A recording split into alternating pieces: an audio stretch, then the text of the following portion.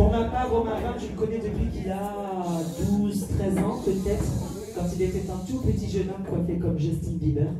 On vient de la même région, on est toutes les deux originaires du nord de la France. Pour ainsi dire, on n'a pas grandi ensemble parce qu'on fait toujours la même taille. On va dire qu'on a vieilli ensemble. Je l'ai vu naître littéralement sur les pistes du nord de la France. Je l'ai vu évoluer comme il m'a vu évoluer. On a évolué quasi en même temps. Il fait partie de nos meilleurs danseurs français. C'est un de nos rares garçons à faire partie des niveaux stars, les niveaux les plus hauts de compétition au monde. On est combien en France? Romain, moi, Pierre-Louis, Jérémy. Et euh, des garçons. La fille là, qui était hier. Oui, la fille, Laura, mais en garçon. Parce que les filles, on en a plein. hein. Laura, Amanda, Clara, Léa, Betty.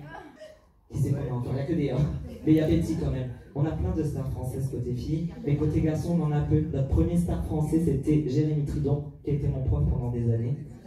Je crois que j'étais le deuxième. Pas du tout, c'est Pierre-Louis le deuxième, moi le troisième et Romain notre, dernier arrivé en division star. Est-ce qu'il est prêt? Mon Dieu, ça sent le pâté, je vous dis. Je pense que s'il s'est préparé, c'est pas pour rien. Alors je demande de faire un tonnerre d'applaudissements à l'équipe.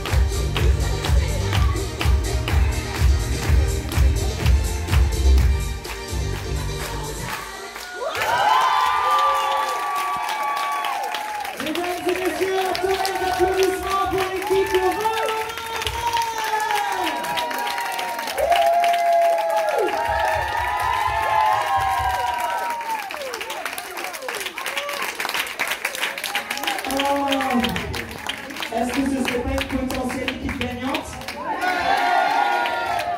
Est-ce que pour un niveau soi-disant ans, débutants, vous n'aurez pas placé la barre un peu trop haute Attendez de voir la suite, parce que les meilleurs de mon groupe avec les...